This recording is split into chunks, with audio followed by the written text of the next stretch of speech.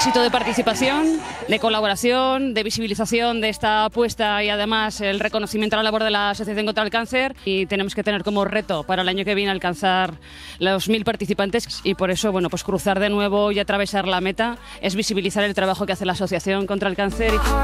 Una manera sana de empezar con deporte las fiestas. Estas iniciativas cuentan para una labor tan importante como es ayudar a los demás y la Asociación Española contra el Cáncer es la entidad que más destina a la investigación, que es lo que más se necesita en realidad.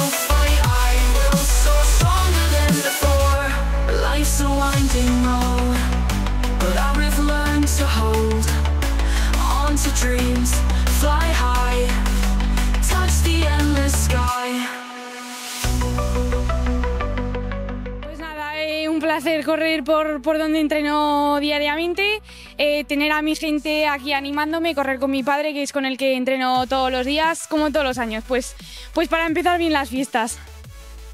Eh, Todo lo que sea para ayudar a lo que sean buenas causas, pues siempre está bien. Y además, pues haces deporte, pues ¿qué más quieres? Lo tenemos todo. Y muchos ánimos por toda la carrera. Pues es un acto que ya es muy tradicional en EGEA para, para empezar las fiestas, la carrera de las mujeres.